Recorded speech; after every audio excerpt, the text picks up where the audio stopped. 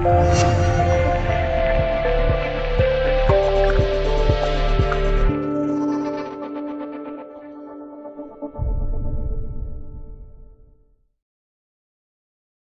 九三七年春，马步芳的马家军骑兵因为成功打败蒋万西路军而名噪一时。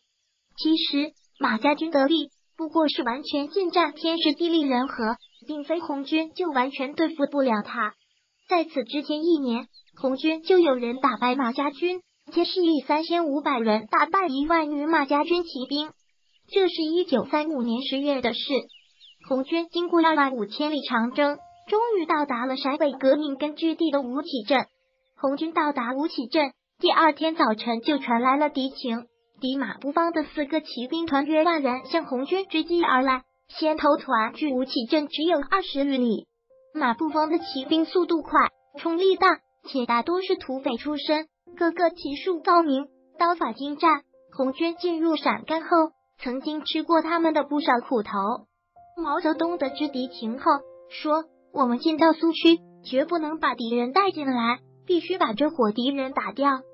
此时红军加在一起只有七千多人，全是步兵，其中还有不少伤病员。毛泽东把歼敌的任务交给了彭德怀。彭德怀接受任务后，立即与李富春政委、彭雪枫参谋长一起到前沿阵地查看地形，制定了作战的方案，并亲临前线指挥。为了保卫党中央。彭德怀只调了一半的部队，约三千五百人进入阵地。红军多数人不知道该如何打骑兵，暂且彭德怀叫人把歼灭骑兵的战术编成歌谣，向战士们传唱。敌人骑兵不可怕，目标又大又好打，排子枪快放瞄准他，成片敌骑即倒下。意思说打骑兵要采取火力密集的战术，瞄准敌人后要立即快放枪。然后，彭德怀立即将部队埋伏在一个四周有山和土岗、中间为平地与沟壑的地区。当日上午八时许，远处黄尘弥漫，敌先头部队一个骑兵团冲进伏击圈。彭德怀大手一挥，下令开火。红军几十挺轻重机枪在两面小山上同时打响，喷吐着火舌，扫向敌群。无数手榴弹在敌群中炸响。一时之间，火光冲天，弹片横飞，炸得敌人人仰马翻，鬼哭狼嚎，纷纷向来路撤去。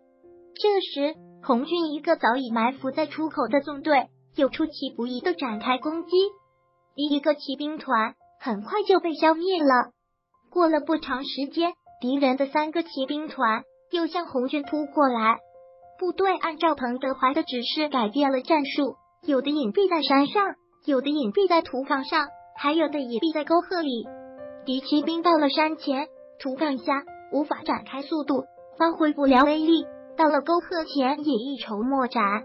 红军则马上采取密集的火力射击，这把目标大，又不会卧倒，敌人无法躲藏，伤亡重大。战斗一直进行到下午四时，敌人又几乎一个团被歼灭，剩下两个团慌忙逃走了。这一次。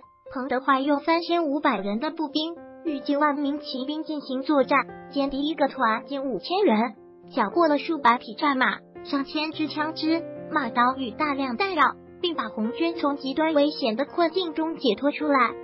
后来有军事研究者说，这样的胜利在中国和世界军史上都是少见的。这需要的不仅是勇敢，更需要智慧与高超的指挥才能。战后，毛泽东特意赋诗一首，赠给彭德怀：山高路险沟深，骑兵任你纵横，谁敢横枪勒马，唯我彭大将军。马家军围歼西路军，名噪一时，但是彭德怀却总有绝招对付他。后来在解放大西北的战斗中，他再一次将马家军打得溃不成军，四下逃散。连许世友都说，西路军统帅若是换上彭老总。说不定就可能不会全军覆灭。